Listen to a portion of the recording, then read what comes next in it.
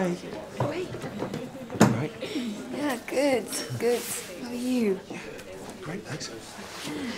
Great to see you. Good to see you too. Okay, um, look, I don't want to mislead you. Um, you know, I didn't bring you here to retread old territory emotionally. Okay. Um, I'm more open to that physically, but um, yeah, I brought you here to talk about something quite specific, which is uh, a little bit touchy. Um, All right.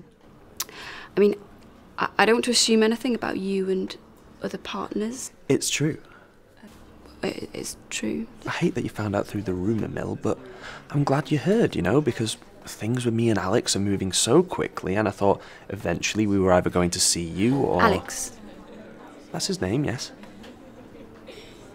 And Alex is My lover. who's male. Yes. I didn't know that. Oh. Um, so you're gay? Well, I don't. I don't say gay. I don't say straight either. I'm with a person of my own gender, which essentially means that I am, you know. Free spirited. Which I love. Thank you. Which I love. I want you to know that this self exploration was inspired by you. I mean, I, I do explore, actually. Um, I mean, right now I'm seeing this guy, and sometimes I let him, you know, hit me on the side of my body.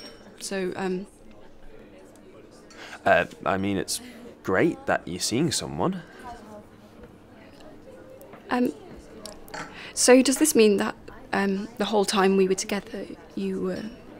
Are you asking, did I always want to sleep with men? Yes. Are you asking, did I. Did I think about it when we were together? Yes.